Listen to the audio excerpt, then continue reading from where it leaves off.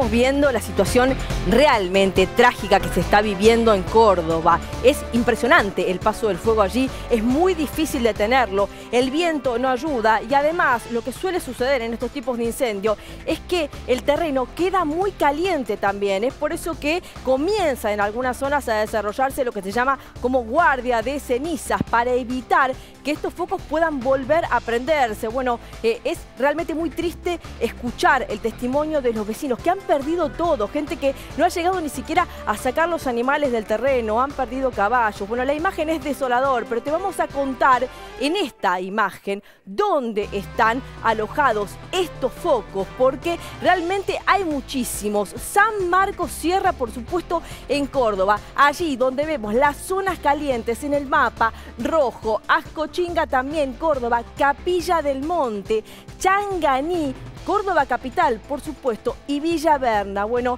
decíamos, no, es triste, es desolador, es difícil también. Bueno, diferentes provincias han mandado colaboraciones a Córdoba, está también eh, actuando el Estado Nacional para ayudar a combatir estos incendios. Por lo pronto también, en principio, hay dos personas que fueron detenidas, se ha encontrado combustible cerca del lugar también, y el fuego no da tregua, como te contaba recién, hay unos 700 bomberos que siguen desplegados en esta provincia. La policía caminera informó que también hay dos rutas que permanecen cortadas como consecuencia del avance de este fuego. También hay reductores de velocidad en algunos sectores. Según el monitoreo satelital, la Comisión Nacional dice que hasta el mediodía de ayer se habían quemado al menos 16.000 hectáreas en el norte del Valle de Punilla. Por su parte, el jefe de gabinete Guillermo Franco publicó un mensaje en su cuenta de Twitter donde dice que la jefatura de gabinete a través del Servicio Nacional de Manejo del Fuego se está ocupando desde el primer momento de ayudar a combatir la catástrofe junto a la provincia, que ya se envió